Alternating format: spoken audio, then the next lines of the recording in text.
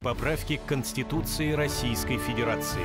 Почему актуальна поправка о поддержке волонтерской деятельности и гражданских инициатив? В период пандемии я поняла, что о нашей работе надо говорить громко. Люди должны знать, кому и куда они могут обратиться за помощью. Поправка в Конституцию нужна и актуальна сейчас.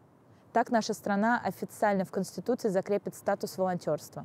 Это огромный шаг вперед для нашей волонтерской деятельности. Появится больше мотивации, больше возможностей для помощи людям. В сегодняшней борьбе с коронавирусной инфекцией невозможно недооценить роль волонтеров.